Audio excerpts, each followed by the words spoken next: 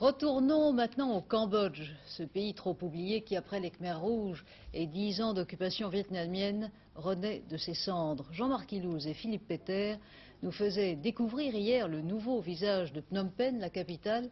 Accompagnons-les ce soir dans les rizières et dans les temples en pleine campagne. Ces ruines sacrées de l'époque angkorienne sont celles du temple de Phnom Chisor, à 50 km au sud-ouest de Phnom Penh cible routinière de l'aviation pendant la guerre américaine, puis refuge des fanatiques Khmer rouges après leur éviction du pouvoir par l'armée vietnamienne en 79, Phnom Chisor est aujourd'hui rendu à ses bonzes et à leur méditation. D'ici, on domine la grande plaine centrale du Cambodge, le panier à riz et à poissons, ce Cambodge utile que le gouvernement de Phnom Penh, soutenu par le Vietnam, affirme aujourd'hui contrôler à 90%. C'est vrai, sur les routes qui mènent à la ville, la circulation est dense, en dépit de la menace de mines Khmer rouges sur les chemins de campagne. Et en République populaire du Kampuchea, en RPK, le bouddhisme fait toujours autant recette chez le paysan cambodgien malgré les persécutions sanglantes menées par les Khmers rouges de 75 à 79, plus d'un million de morts.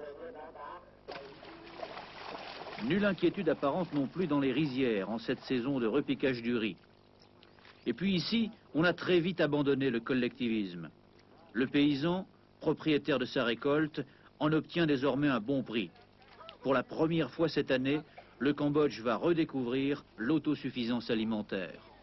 Loin des conférences internationales et des luttes de factions, ce qui compte pour le paysan cambodgien, c'est d'abord de pouvoir se rendre à son travail en toute sécurité, d'aller à la pagode en toute liberté et bien sûr de vendre son riz à un bon prix. Fort de ce début de retour à la normale, le gouvernement de Phnom Penh, installé au pouvoir par les Vietnamiens voilà dix ans, veut montrer aujourd'hui qu'il a su conquérir sa propre légitimité sur le terrain économique. Ici, Spectacle nouveau au Cambodge, d'après 75, une maison en construction en pleine campagne. Cette paysanne explique que sa famille y a investi 10 ans d'économie et le fruit de la vente de quelques bijoux.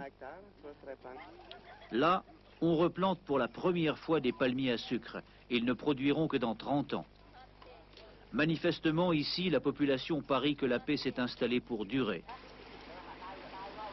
Question, mais une fois rentrés dans leur quartier, les troupes du puissant Vietnam, l'armée et les milices de la République populaire du Kampuchea pourront-elles, seules, empêcher le retour des sanguinaires Khmer rouges